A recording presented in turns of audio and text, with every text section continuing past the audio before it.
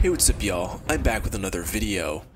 Recently, I had one of my subordinates ask the r slash wow economy subreddit for its worst gold farms, and figured that I would see how bad they are for myself. So, in this video, I'm going to be trying Reddit's worst gold farms.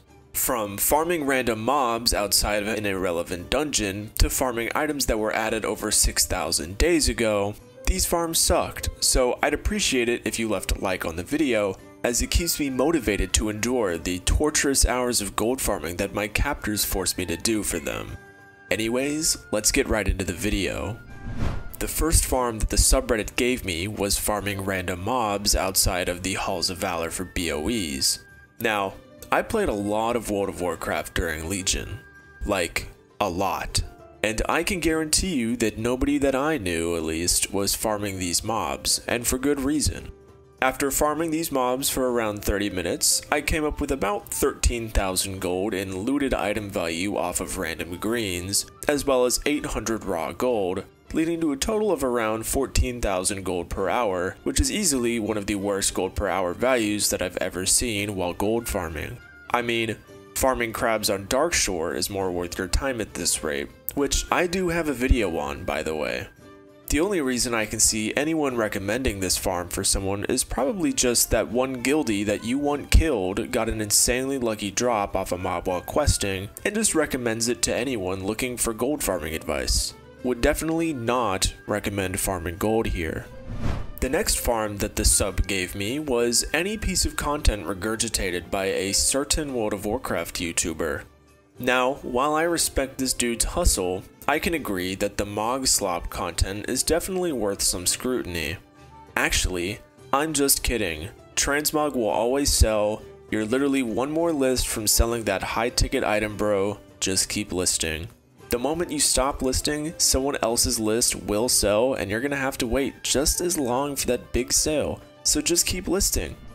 Now, the next farm is interesting cause, much like the first one, it's one I've never thought to do personally, but figured I'd give a try, and it's farming dragon scales in Netherstorm.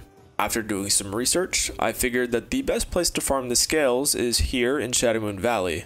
Now, if you've progressed through the Netherdrake quest line here, unfortunately you will not be able to kill these mobs since they will have been liberated.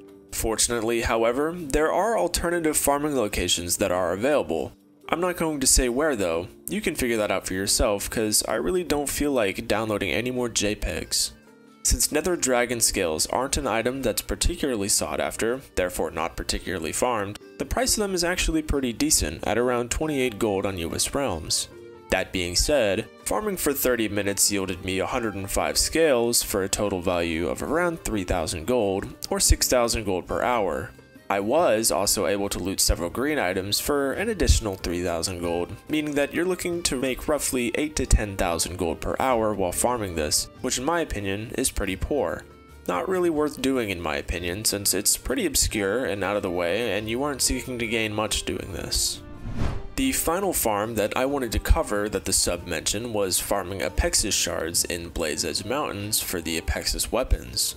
Now, much like the other two farms that I talked about, I had never heard of anyone doing this ever, and since I had no idea what I was getting into, I knew that I had to try it for myself. After farming for roughly a little under an hour, I had acquired around 1.3 million gold in looted item value, with the most notable item being the Crystal Infused Shiv, which is currently listing for just short of 800,000 gold across all US realms. Now, like I have to say in a lot of my videos nowadays, transmog will be transmog, so if you aren't willing to list, don't expect to make a sale, cause this is a real man's gold farm, so suck it up. Anyways guys, thanks for watching. This video sucked to make low-key, but sometimes we have to learn to take one for the team for science. If you liked the video, leave a like. If you didn't, leave a like anyways, kinda like a reverse psychology type of means if you're throwing what I'm catching. you seem chill, do you have Kick by any chance? Make sure to subscribe because it would be dope. And as always, peace.